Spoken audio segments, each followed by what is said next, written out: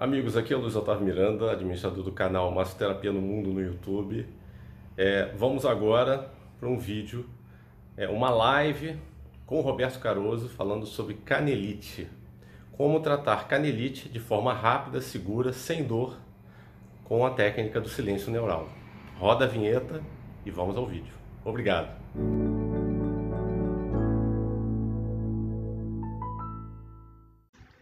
Olá, eu sou Roberto Caroso, criador da técnica Silêncio Neural ou como desactivar os pontos gatilhos em poucos segundos e sem dor para teu paciente. Eh, o tema de hoje eh, surgiu por uma pergunta de uma aluna do curso, Leandra, que estava para tratar um paciente com canelites. Tá? E ela me perguntou, me, me pediu algumas dicas, e como é um tema bastante confuso, eh, no âmbito médico, no, no âmbito terapêutico, eh, eu decidi fazer esse, esse vídeo um pouco para ajudar a aclarar a todos vocês eh, como tratar, primeiro que uma canelites e depois como tratar uma canelites. Então, eh, o tema de hoje é canelites ou tibialgia. É canelites ou é tibialgia? Essa é a grande dúvida, tá? Vamos ver. É isso aí.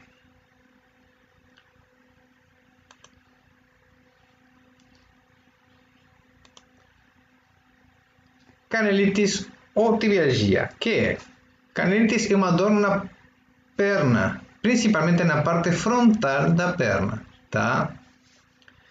Mas eh, muitas vezes você vai escutar canelites, outras vezes você vai escutar tibialgia. Tá? Qual é, o, qual é o, a real origem dessa dor? Tá? Qual é a definição dessa dor? Segundo o âmbito médico, a canelitis tá? é o nome dado para un estrés tibial medial. Medial quiere decir da, perna para o centro, para o meio, tá? Seria essa dor localizada mais aqui, essa parte da frente e essa parte medial, a parte interna da perna, central e interna da perna, que também se chama periostitis medial da tíbia. Tá? A periostitis é uma inflamação do osso da canela, da tíbia, tá? Dos tendones y dos músculos que se inseran en la tibia. Y ella, ella, ella está gerada por un eh, esfuerzo eh, exagerado, un, un, ejercicio físico eh, feito eh, de forma excesiva que gera un estrés na, na nossas, nossos músculos y nossos ossos. Tá? Essa seria a definição de canelites.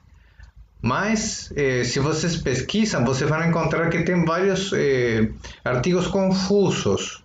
Segundo eh, outros médicos, a canelite seria provocada por microtrauma do músculo tibial anterior. O músculo tibial anterior está localizado na parte lateral.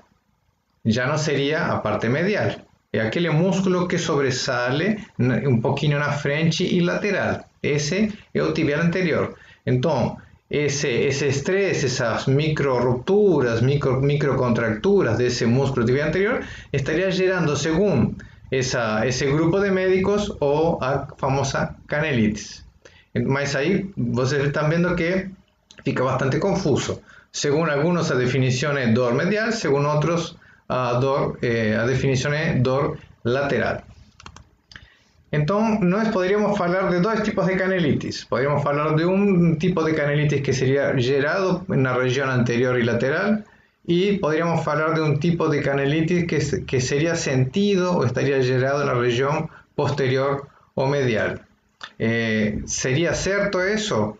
En definitiva, el paciente llega con dor, nos tenemos que aprender a resolver esa dor. Más interesante entender cuál es el origen de la dor para saber cómo que nos vamos a tratar ella.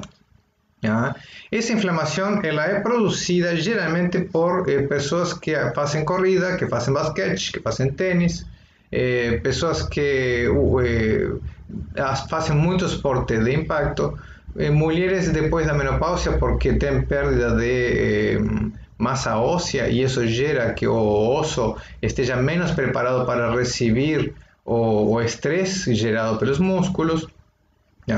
Puede ser que personas que tengan o famoso pez eh, plano, pez chato, o que estén con o pez virado para adentro, algo que pez valgo, esa canelitis, si las personas llegan a sentir esa dor eh, o gran problema es que elas llegan a nosotros no cuando comenzaron a sentir a dor, eles geralmente llegan cuando ya están con esa dor há muito tempo. E é uma, como se fosse uma tendinitis tá? desse periósteo. Periósteo é aquela membrana que cobre, que envolve o osso, e sobre ela que vão a se inserir os tendões, que são as cordas das quais usam os músculos para se segurar. Músculo tendón y a inserción en oso, mas ele no se insere directamente en oso, se insere en una membrana que cubre oso llamada periósteo. Ese estrés, ese exceso de estrés puede acabar generando eh, lo que llama eh, fractura por estrés. Son microcontracturas que comienzan generándose en esa membrana y después acaban generándose en el mismo oso, la misma tibia. Eh, Aqui mais menos está explicando, a dor costuma, a dor vendoperósteo, que é aquela camada carcurativa, eu já expliquei antes, tá? Mas também para confundir ainda mais, temos outra coisa que se chama síndrome compartimental, tá? Síndrome de compartimento, compartimento como se fosse uma coisa fechada. E isso geralmente se dá especificamente no tibial anterior. como que los puntos gatillos acaban generando una inflamación de ese músculo que está todo envolvido, rodeado por, la fascia, una fascia muy apertada, entonces él no tiene como espacio para crecer, para se hinchar, y eso produciría un déficit circulatorio y, produciría dolores terribles. La solución para los médicos eh, fuera de anti-inflamatorio, reposo demás, a, solución más drástica de los médicos es hacer una incisión na fascia, cortar ella o tirar una parte de la fascia para que ese músculo eh, respire, que, que consiga más espacio para, para se expandir, para salir. Imagina cómo ficaría a perna si você tira un pedazo de fascia y ese músculo sale para afuera, ¿no? Mas esa sería la solución que los médicos estarían dando para eh, resolver esa historia de síndrome compartimental. Entonces, la historia así. Vamos lá a ver ahora específicamente los músculos. No estemos aquí en la frente o músculo tibial anterior. Eso de aquí a tibia, ¿tá? Entonces aquí, según él, estaría doendo é a tibia. Tibialgia, inflamación da tibia o del periósteo que rodea a tibia. Ese músculo que está aquí en la frente, el es tibial anterior. Para mí, él, es que genera ese síndrome de compartimentación, Él es que genera esa dor aquí en la parte de la frente muy grande mayoría de los corredores y que los puntos gatillos localizados en él podrían estar generando por tracción sobre las estructuras, generando esa inflamación, esa tendinitis, esa dor na tibia. Eh, Olha, eu já tive essa dor, tá? Se, vários de vocês já devem haver me seguido. Eu fiz uma viagem de carro de 8 mil quilômetros, desci daqui de Real da Ajuda, Bahia, para o sul, cheguei ao Uruguai, cruzei a Argentina, voltei pelas cataratas de Iguaçu e fui pelo interior de, por a parte de trás de Paraná, Minas e voltei para casa. Foram 8 mil quilômetros. Na primeira metade do caminho me deu uma dor muito grande aqui, muito forte aqui. ¿Por qué? Porque a gente usa ese músculo para levantar o pé, tá? E, eu estava usando muito esse músculo, que era o músculo do acelerador. Então gerou uma acelerador embreagem. O que estava doendo muito, é, estava doendo muito o acelerador mesmo, tá? É, então, foi uma dor muito intensa que inclusive me dificultava caminhar. Fiquei assim um dia inteiro que não falei, como que vou fazer os passeios se não consigo caminhar? A dor era intensa. Gracias a Dios, yo conozco o proceso de desactivación de esa dor, que es desactivar los puntos gatillos girados en ese músculo tibial anterior. Pues vamos lá. O que quiero mostrar para vocês é uma coisa muito interessante que pode dilucidar aquela confusão se a dor está sendo gerada pela, pelo tibial anterior ou pelo sóleo. Vamos ocultar o tibial anterior, vamos ocultar também o extensor longo dos dedos y vamos a ocultar también un extensor longo do hallux, do dedón. Y aquí vamos a encontrar una cosa muy interesante, que esa membrana, que se llama membrana interósea, que es una membrana que va desde la tibia hasta fíbula. Esa membrana une, mantiene a tibia y a fíbula en un, en un espacio, impide que las se separen, le mantiene ese espacio entre elas, tá? Agora, o que acontece aqui? Se nós vamos por trás e nós tiramos os gastrocnêmios e nós tiramos também aqui, vamos tirar também o tendão de Aquiles, aqui embaixo temos o sóleo, né? Lembra que falamos que, segundo algumas escolas médicas, eh, tratar a tibialgia poderia ser tratar ponto gatilho no sóleo. Vamos tirar o sóleo também. Debaixo do sóleo tem outro músculo que é o tibial posterior. Profundo, muito difícil de chegar. A gente tem que chegar através do gastrocnêmio e do sóleo para chegar, atravessar todos eles para chegar no tibial posterior. Debaixo do tibial posterior que está a mesma membrana. A mesma membrana que a gente vê por frente, que a gente vê por trás.